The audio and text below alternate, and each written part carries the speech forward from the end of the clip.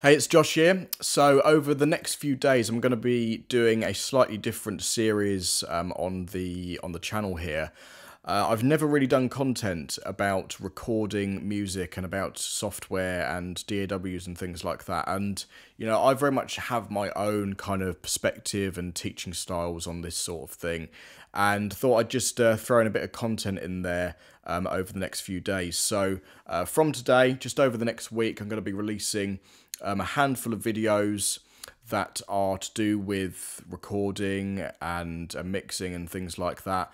And these are actually pulled directly out of one of my uh, mini courses as well, which um, you can actually you can actually get uh, alongside the uh, the book that I've written, the One Strong Song Strategy book. Um, so I'm giving this to you for free because you know I want to I want to help you out, um, and you know hopefully you're gonna really enjoy the content as well. So this first one is going to be an introduction to GarageBand. So if you are completely new to recording, you're completely new to uh, you know recording your own music at home and things like that, then GarageBand is an amazing software. And this little video is going to give you a, a full kind of introduction of how to use it and how it all works and uh, exactly where to get started. So let's dive right in. Alright, welcome to this training video called Introduction to GarageBand. So this is just going to be a quick video where I show you around um, the DAW GarageBand. So if you are a Mac user, this is a DAW that actually comes free with all Macs. So it's a really brilliant DAW, especially if you're just getting started with this and I just want to essentially just show you around like how it works, how what the layout is, and and everything like that. Um, it's an absolutely brilliant DAW. It's a software that you can use to get really high quality and professional recordings as well. So let's get it opened up here, and I'll just show you how the entire thing works. So it will come up with this window, and then you just want to choose Empty Project, and then um, then it'll come up with this window where you choose your track type. So um, there's you know a few different options here. Um, generally, you're going to be recording audio if you're recording through something like a microphone, for example. Um, you can also do uh, like direct in, so that's essentially where you plug your guitar straight into your audio interface and you can use the GarageBand amplifiers um, if you want to give them a go. Um, there's also software instruments, which is things um, like uh, pianos and synths that you would use on a MIDI keyboard, and they also have um, something called Drummer, where you can set up drum tracks and and things like that as well, which I'll show you um, very shortly. But let's just go over an audio track for now. Um, you choose your input so this is the input from your interface. So, um, you know, depending on what interface you have, you're going to have, you know, essentially likely one or two inputs. Um, so generally the generally they're numbered as well on the interface. So you can see, um, you can see like where your microphone is actually plug plugging into, and then you pick um, from here which input you want to uh, you want to be using so that you're picking up um, you know, where your microphone is actually plugged into. So we'll go for input one here and then create. So you can actually see, um, even though I'm actually recording this audio on Logic at the moment, you can see that it's picking it up in GarageBand as well, because um, you can see the, the wave sample going up there.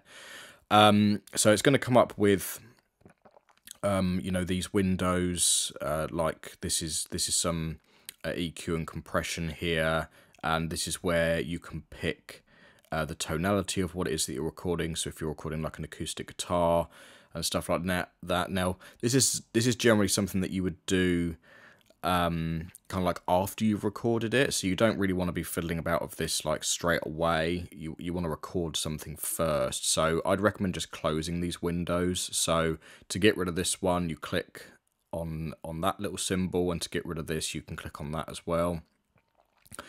And then uh, I'll just show you some of these uh, basic controls here. So this um, is quite handy. This is a little help button. So if you're not sure what's going on uh, or what things are, you can essentially open that up and then you hover over things and then it tells you what it is. And I don't think Logic has that, so that's what's really good about GarageBand. It's really good if you're getting started with this and um, you know you just want something really simple to use. So you know even even if you have Logic um, or you know you're thinking about getting it, I'd still recommend starting on GarageBand and and then upgrading to Logic, you know, once you kind of got used to this, because then it's just going to be so much easier. So that's really good. Um, that's the uh, the little EQ compressor compressor thing there. Um, this is uh, kind of like a zoomed in version of your audio track. So once you record something, um, then this is this allows you to like edit things like you know more easily.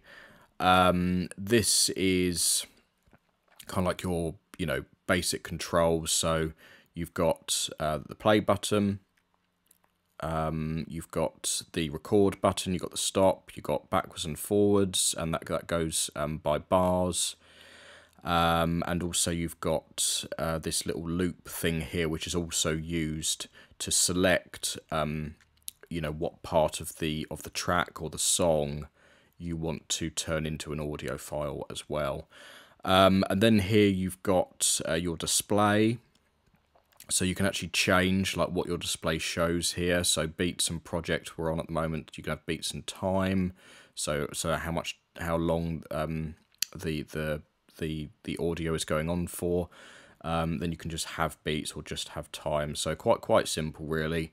Um, this is where you pick your tempo. So it's in beats per minute. So you know, once you've written your song, then you'll have a certain tempo and you want to essentially figure that out. Um, you can get up an app on your phone or something on Google. Just just Google tap tempo or find an app that that does this, and you can you can essentially tap along um, just just by clicking um, on something like that. So I'll I'll give I'll quickly show you.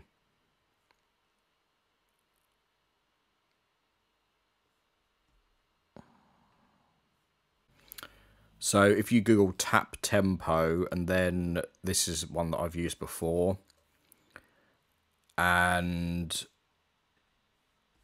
you click this button, and then so it says click here or on your space bar.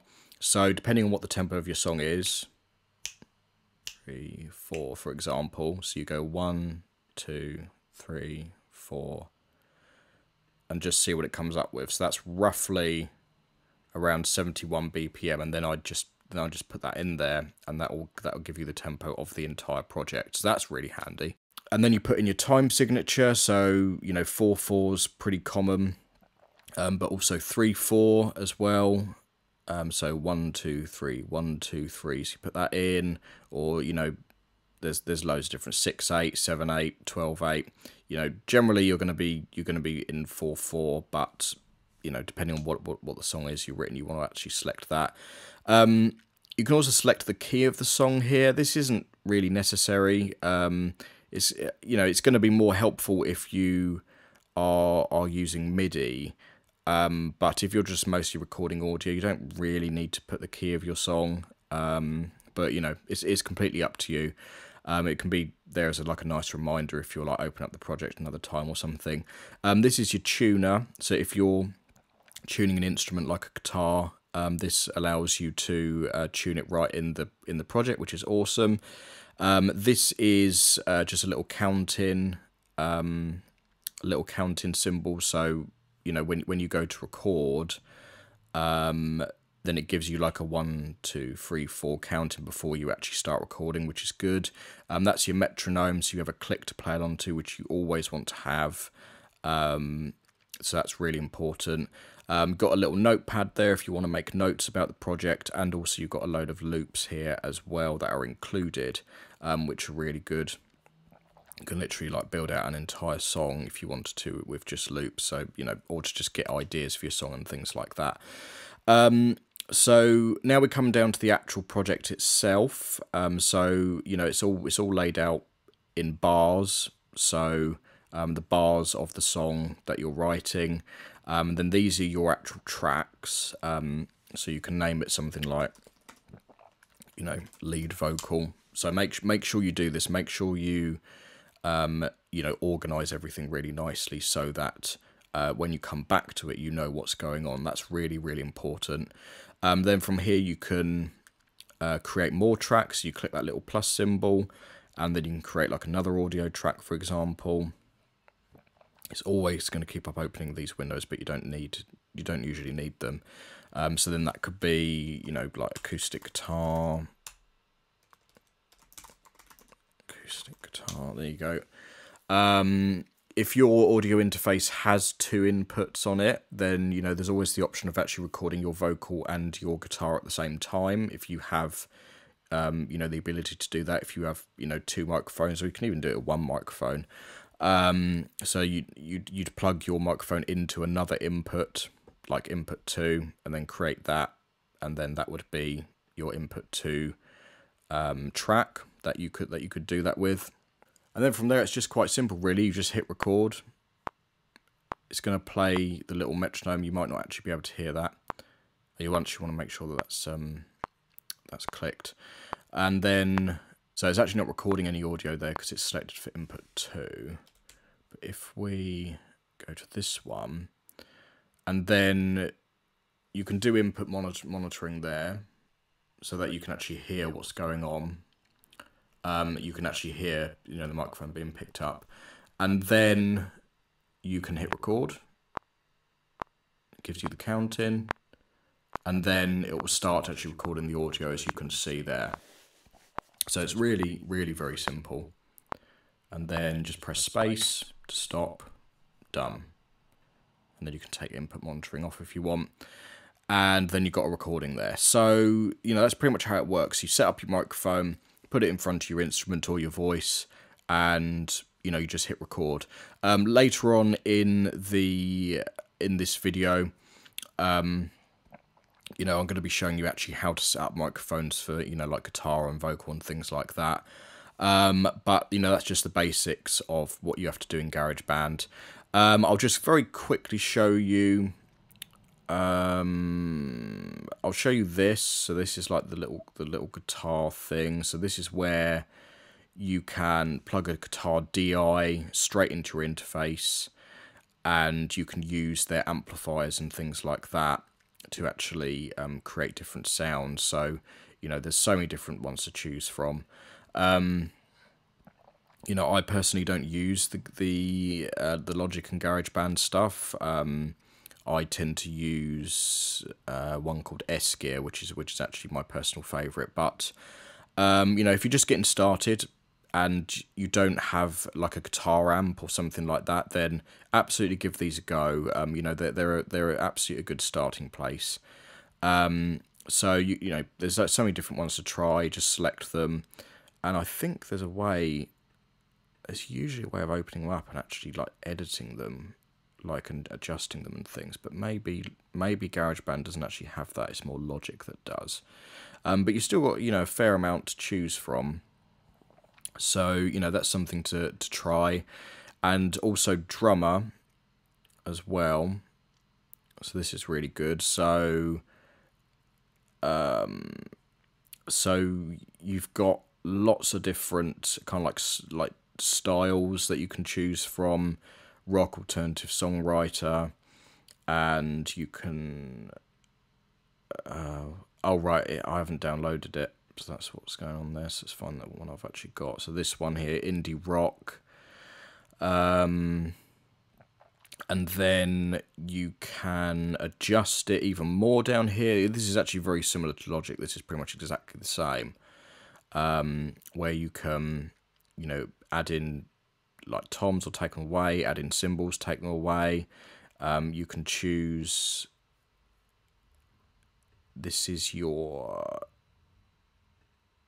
This is just kind of like the way that they play it. So like there's different like kind of styles and things that you can you can listen to. So you can give it a play.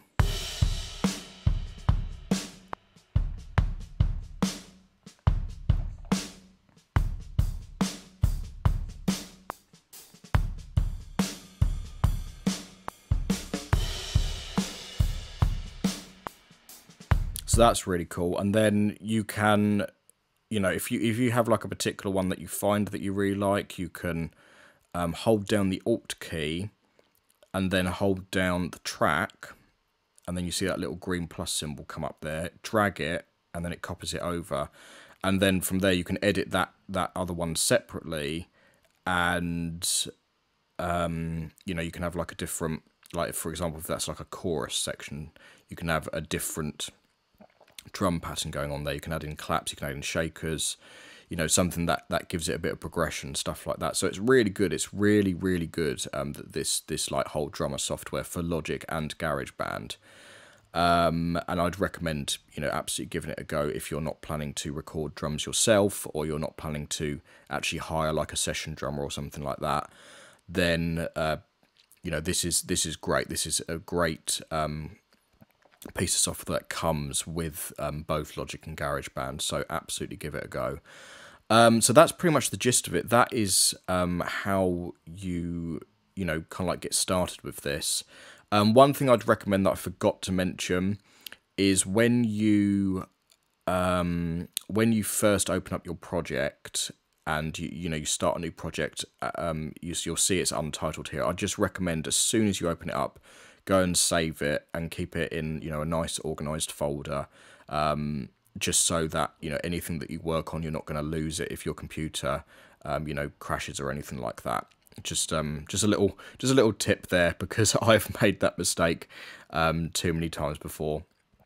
Um, but that's pretty much it. So uh, that's the gist of it. There are um you know things that you'll just learn as you go. Um, you know, one little handy thing um, if you want to see what's going on in your project, hold down the Alt key and then you can drag along on your mouse or your trackpad so that you can zoom in, zoom out, stuff like that. That's that's a nice little one. Um, there's a few shortcuts that Logic has that GarageBand doesn't, um, which you know I'll be talking about a bit more in the in the next video. Um, but absolutely use the little helper tool as well if you're not too sure what's going on. Um, but you know it's a really easy software to use. Um, and it's a great place to start. So I hope that's that's helped.